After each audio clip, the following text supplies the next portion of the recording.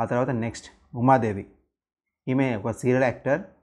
ఈమె పుట్టింది ఏప్రిల్ ఏడు పంతొమ్మిది వందల ఎనభై ఒకటి.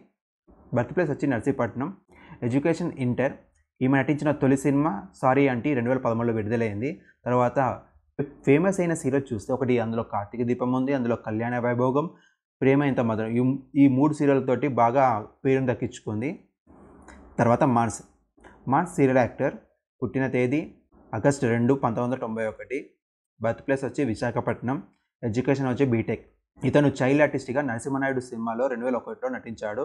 ఆ తర్వాత హీరోగా రెండు వేల పద్నాలుగు జలక్ సినిమాతో హీరోగా పరిచయం అయ్యాడు తర్వాత డెబ్యూ సీరియల్ వచ్చి కోయిలమ్మ సీరియల్. ఓకే తర్వాత యానీ మాస్టర్ కొరియోగ్రాఫర్. పుట్టిన తేదీ జూన్ రెండు పంతొమ్మిది వందల ఎనభై మూడులో సంవత్సరంలో పుట్టింది.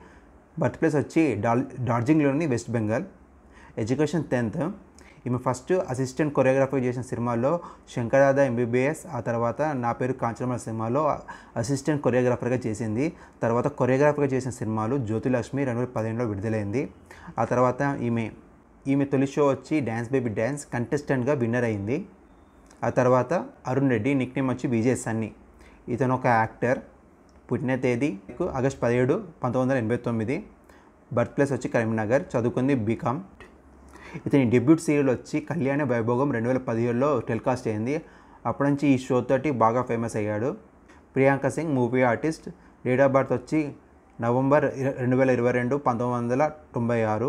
బర్త్ ప్లేస్ వచ్చి శ్రీకాకుళం. ఎడ్యుకేషన్ ఇంటర్ ప్రియాంక తొలి షో వచ్చి జబర్దస్త్ రెండు వేల పదహారులో స్టార్ట్ చేసింది. నూట యాభై ఎపిసోడ్లో యాక్ట్ చేసింది.